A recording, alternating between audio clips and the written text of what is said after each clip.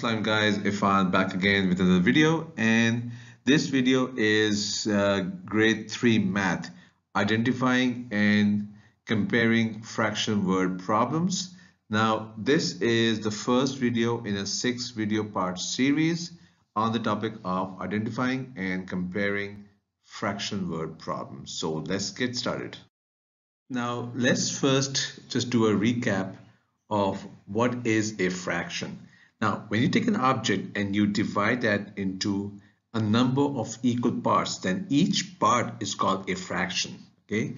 For example, 2 by 5. Okay.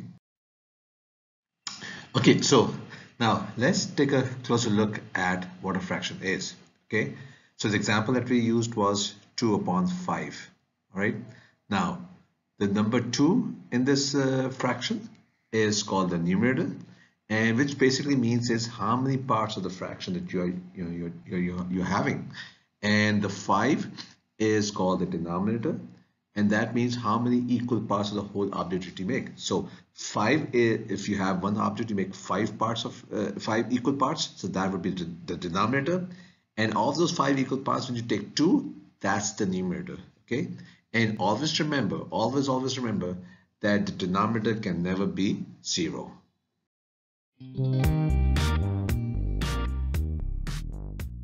question number one. Out of the 12 books on fairy tales, John borrows five. Okay. Now, what fraction of the books on fairy tales did John borrow? Okay, so now let's solve this problem. Now in the problem, it tells us that out of the 12 total books, John had borrowed five so we can say that John had borrowed 5 by 12 of the fairy tale books, right?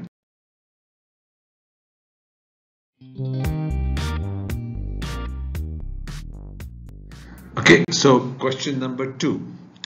John had found 17 books on wildlife and had brought out of the 17 books had brought six of these to the table. Now what fraction of the books on wildlife did he bring to the table? Okay, so now let's solve question number two. Now we are told that out of the 17 total books, John had brought six. So basically what we can do is we can say that John had brought 6 by 17 of the books on wildlife to the table.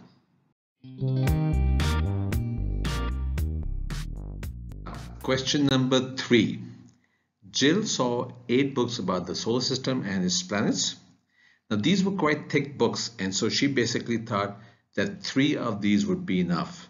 Now what fraction of the solar system books did she borrow?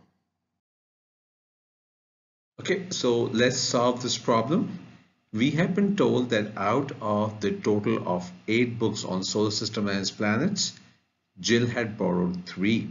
So basically we, what we can do is we can say that Jill borrowed 3 8 or the 3 by 8 of the books on solar system.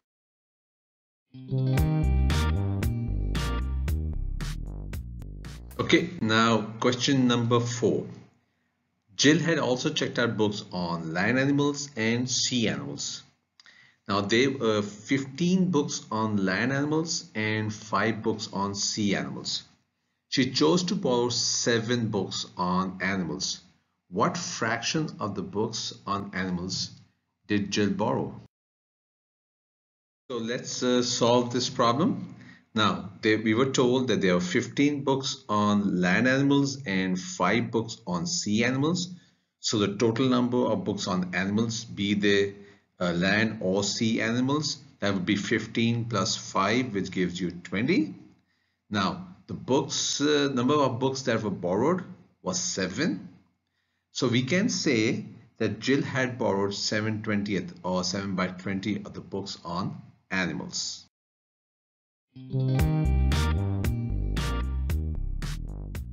Question number 5. John and Tom found a book on Greek mythology and the 13 most important Greek myths.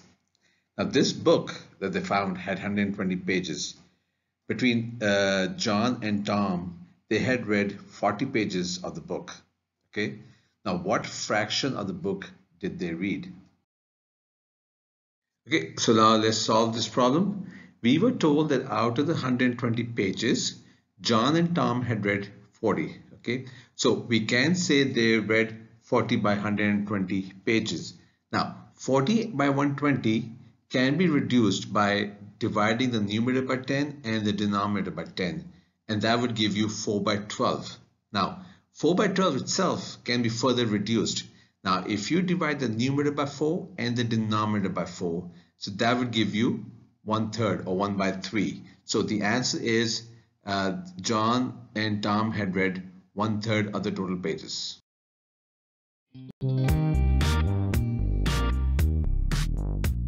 That brings us to the end of the uh, first video in this six part series. Please always remember to like, comment, share and subscribe. Thank you.